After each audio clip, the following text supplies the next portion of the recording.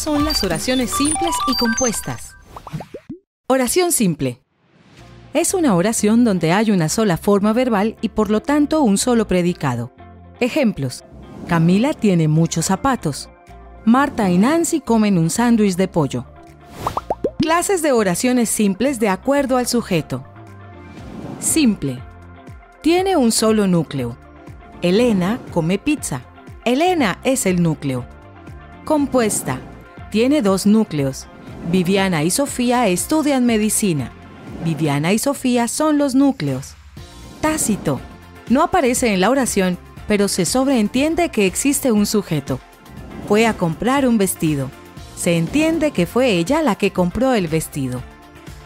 Paciente. Es el que recibe la acción del verbo. El dinero fue depositado en el banco esta mañana. El sujeto es dinero y fue es el verbo. Clases de oraciones simples de acuerdo al predicado. Simple. Es aquel que tiene un único verbo. Carlos conduce. El núcleo es conduce. Compuesto. Es aquel que posee dos núcleos verbales. Antonia viene y se va pronto.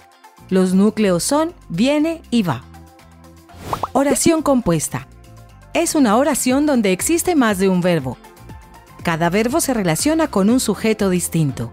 Ejemplo, Margarita preparó unas galletas para su amiga Ángela y se las comió todas. Preparó se refiere a las galletas y comió se refiere a la amiga. Clases de oraciones compuestas.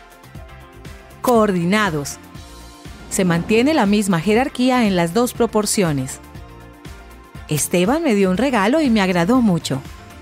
Subordinados es cuando una proposición está subordinada a otra proposición principal. Me gusta mucho la torta que Nelson me regaló. Yuxtapuestos. Son oraciones donde existen oraciones coordinadas sin usar un conector.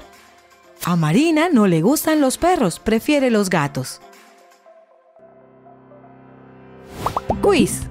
Las siguientes oraciones son simples o compuestas. El profesor nos enseñó español. Voy a la tienda a comprar huevos y pan. El perro aulló toda la noche.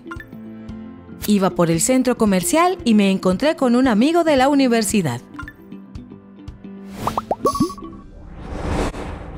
Si te gustó, suscríbete y comparte.